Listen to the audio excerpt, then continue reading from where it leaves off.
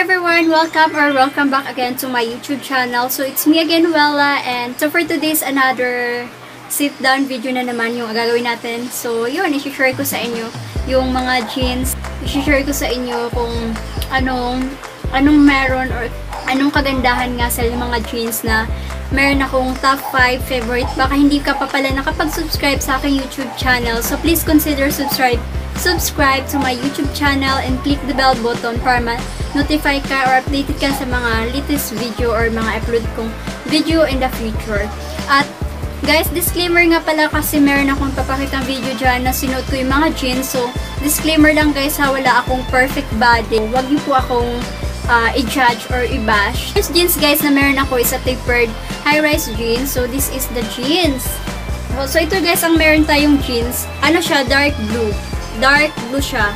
So, excuse sa akin pangit na kuko. Sandahan nga sa kanya guys ay may pagka-fitted yung ano niya, yung type ng jeans. Pero hindi totally yung fit na fit niya na, na super mahahag yung ano niyo, yung balat niyo na parang hindi na makahinga. And nakikita nyo, ayan, meron lang siyang yan, dalawang packet sa likod. And, ayan, medyo namumuti na nga. Siguro nalagyan ko ng ano, chlorine. Ayan, sorry guys ha, hindi kasi ako expert sa mga tawag dun sa mga about sa fashion. Kasi disclaimer lang ha, hindi ako expert sa mga ganun, sa mga fashion or ano mga tawag dun. Basta, papakita ko na lang sa inyo yung type na jeans. And, I'm sure guys, na magugustuhan nyo siguro kapag meron kayong ganito. After this jeans guys, na the rest ay papakita ko sa inyo, ay high-rise or mga street jeans. So, ang kagandahan nga pala guys sa street jeans or mga wide jeans ay napaka-comfy niya talaga suotin. Comfortable siya suotin, very lightweight. Yun, napaka-presko niya suotin, hindi siya mainit.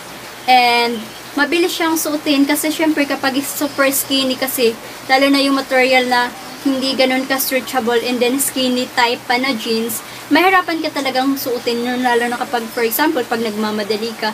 So, ito, easy to wear, di ba? Lalo na kapag high-rise, kapag hindi kayo katangkaran. So, ako hindi kasi ako katangkaran, so gusto ko yung mga type na jeans na high-rise. And, madali lang naman kasi siyang partneran. Kasi, kahit anong mga basic top, pag mga high-rise, kahit plain, and then pagdating sa shoes, kahit mga white shoes or rubber shoes, basta um, magko-complement siya dun sa kulay ng jeans, ay babagay talaga siya. Kasi ang kagandahan niya talaga sa kanya, lalo na kapag high-rise jeans tapos hindi ka kantakangkaran, ayun, kakatangkad siyang tingnan. Parang nang dadaya, alam mo yun, lalo na kapag mga, ano, mga dark, nakakapayat, nakaka, alam nyo naman na nakakapayat or nakakatangkad tingnan yung mga dark color. So, this is the first guys, the tapered high-rise jeans. And the second jeans na meron ako guys ay itong uh, basic lang. So, this is uh, high-waisted. Ayan, mas high-waist yung part ng back niya. Nakita nyo. Ayan, high, high waist. Ang kulay niya ay may pagka-dark, dark blue, and dark blue na may pagka-wash. Wash yung dito sa bandang center niya. And ang ganda din ng pattern ng jeans na to kasi medyo hindi siya ganun ka-wide, pero street jeans din siya, and then high-rise. Yan, ganyan lang siya. May zipper, and two pocket dito. And then, meron din siyang pocket dito sa likod. Ayan. So, meron din siyang lagayan ng belt dito. Kung gusto mong medyo fashionable, lagyan mo ng uh, belt. Or, kung meron kang long sleeve na pa-partner dito sa jeans, sa type ng jeans sa kulay nito, So, pwede mo siyang itak in. Third jeans, guys, na meron ako, ay ito ay tinatawag na high-rise boyfriend jeans. Patong jeans na to, no, kasi may boyfriend. so, joke lang. So, yun, guys. This is the third is high-rise boyfriend jeans. So, ayan. So, yung kulay niya, guys, is wash blue siya. And, nakita nyo, meron siyang tattered. Ayan, medyo tattered and wash wash blue. Ayan, may tattered siya. And medyo manipis yung tela nito but very comfy talaga. And pagdating dito sa baba guys ay alam niyo yun pag, nagla pag naglalakad kayo yung parang nagaganon siya. Yung sumasabay sa ano ng paa nyo. So yun yung thing na gustong gusto ko sa jeans na to. And madali din siyang partneran. And then basic lang, ayan, meron siyang belt and two pocket. And yan, and nahag nyo talaga yung body nyo, yung pagka-high waist niya. And also guys, no, yung material niya ay stretchable and stretchable kasama na yung tatlong jeans na pinatakita ko kanina. So ang ganda ng ang ganda ng ano ng jeans na to. Napaka-comfy, napaka-easy to wear, 'di ba?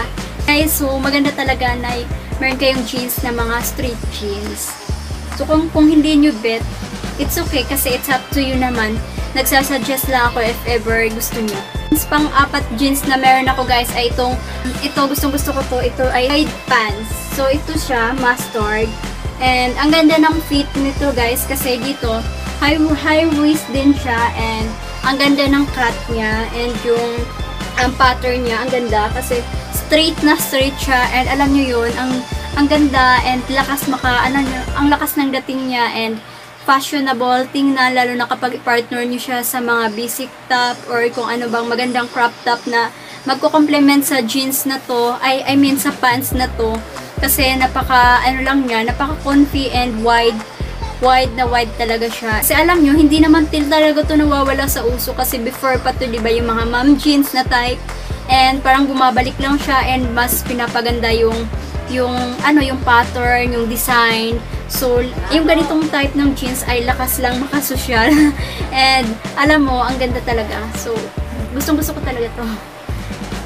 And, gustong gusto ko talaga to. So, ayan, hindi ko pa pala nakita, napakita. So, ayan nga, pala guys, ayan o. Oh.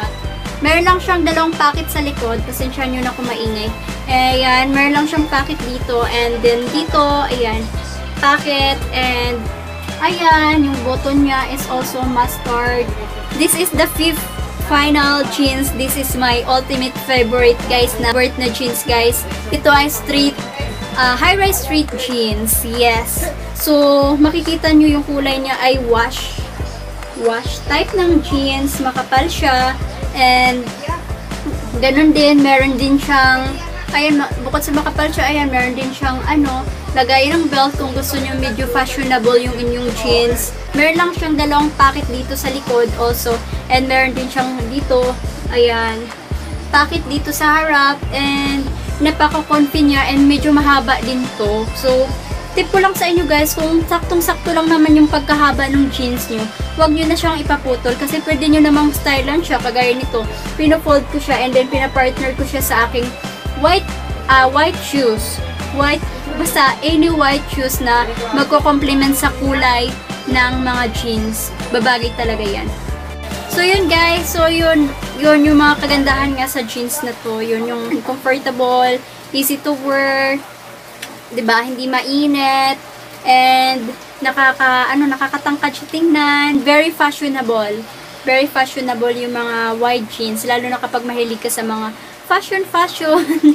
fashion fashion. So ako hindi naman ako hindi naman ako magaling sa mga ganyang fashion. Fashion basta ako basic top lala basic top lang lagi yung mga pina-partner ko sa mga jeans ko or ini crop top na alam niyo yun feeling feelingan lang na walang bilbil. But it's okay guys. As long as saan kayo comfortable and saan kayo masaya then go suotin nyo.